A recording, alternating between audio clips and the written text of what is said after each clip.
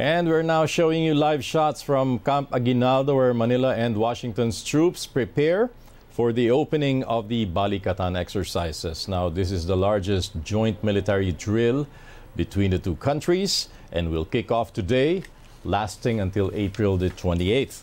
Now, around 5,400 Filipino soldiers and more than 12,000 U.S. military personnel will train shoulder to shoulder. Now, the drills will include live fire training, humanitarian assistance, and disaster relief preparedness. This year's Balikatan will be held in various areas in the country, including Palawan, Antique, as well as uh, parts of northern Luzon. Top officials of the Philippines and the U.S. will hold talks in Washington Tuesday after the expansion of their defense cooperation agreement. The meeting will be led by U.S. Secretary of State Antony Blinken and Defense Secretary Lloyd Austin. The Philippine delegation will be represented by Foreign Affairs Chief Enrique Manalo and Defense Secretary Carlito Galvez Jr. The meeting comes amid China's opposition to Manila and Washington's expanded Enhanced Defense Cooperation Agreement.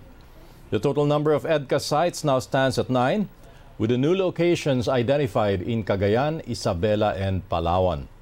DFA Chief Enrique Manalo reiterated local economies will benefit from the expansion of the military agreement. That beyond aiding the modernization of military facilities, the EDCA sites support the local economies and present new and present new interfaces for socio-economic projects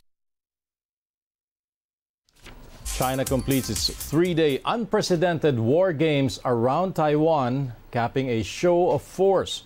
During the drills, Beijing practiced sealing off the self ruled island by creating temporary aerial blockade and simulated target strikes. This is Beijing's response to Taiwanese President Tsai Ing wen's meeting with U.S. House Speaker Kevin McCarthy in California last week. The Chinese military has said its troops are ready to fight anytime and are determined to smash any form of Taiwan independence, separatism, and foreign interference. The Philippines urges the U.S. and China to manage the rivalry with dialogue as tensions escalate over Taiwan. In his speech during the Center for Strategic and International Studies Forum in Washington, D.C., Philippine Foreign Affairs Secretary Enrique Manalo said the relationship between the U.S. and China is a defining feature of the ecosystem in the region. He added any kind of military conflict between the two superpowers will have adverse repercussions in the Indo Pacific region.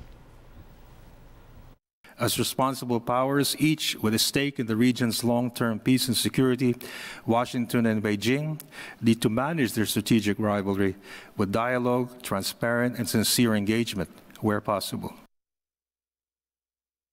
Japan also expressing concern over China's military drills around Taiwan. The Japanese ambassador to the Philippines says the exercises affect the peace and security of Japan and other countries in the region. He also calls for a resolution of issues surrounding Taiwan through dialogue and not by force.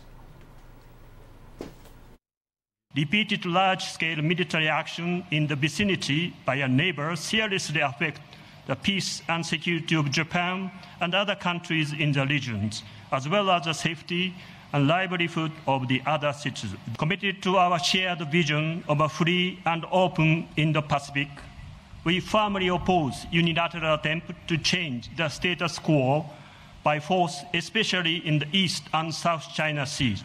We cannot allow any military and economic power to undermine the very foundation of existing global order and plunge the world into conflict and chaos and tragedy. U.S. Secretary of State Antony Blinken will visit Vietnam later this week as tensions flare in the region. According to the State Department, Blinken will discuss Washington's shared vision of a peaceful and resilient Indo Pacific region with Vietnam. He will visit Hanoi on his way to the group of seven foreign ministers meeting this weekend in Japan. Vietnam has long standing tensions with China, whose own ties with the U.S. have also deteriorated in recent years. Moving on, a study conducted by the Coalition of Scientists and Environmentalists shows The impact of the oil spill for residents of Pola and Calapan in Oriental Mindoro is worse than that of the pandemic. Now, it says the tragedy had a dooming effect or domino effect on the lives and livelihood of locals, particularly for fishermen.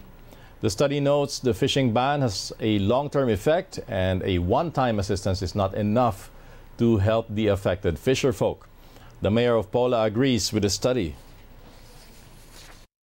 During pandemic, COVID-19 pandemic kasi, ah, yung mga fisher folks hindi nawala ng trabaho kasi nagsusupply sila sa palengke, nagsusupply sila sa ibang bayan. More or less, ang walang trabaho lang yung mga nagtatrabaho sa Manila and yung meron mga tindahan dito na pinapaklose at bawal magtinda. For a while lang kasi yun eh.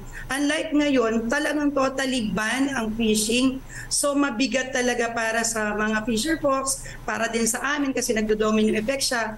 Luma- tumataas ang presyo ng lahat ng ah, ah, pagkain. Sobrang hirap talaga kasi ang pan, ang COVID is ano lang eh, pwede ka, hindi ka lang pwedeng lumabas. Ay, pero pwede kang maghanap buhay. Paula Mayor Jennifer Cruz also noted the adverse impact of the oil spill on children and their education. She points out the lack of income of their parents are forcing children to skip school. Hindi namin alam until when sila pwedeng hindi pumasok na walang pamasahe. Kaya nakiusap po tayo sa CHED, nakiusap tayo sa DepEd na baka pwedeng yung Fisher Fox, anak ng Fisher Fox, hindi mo na pumasok dahil walang pamasahe sa school. So, ah, malaki po talaga yan sa, sa kanila pa paano sila matututo. So, kailangan bigyan sila ng alternative na pag-aaralan para hindi sila uh, naman later at mahuli dun sa ibang kaklase nila.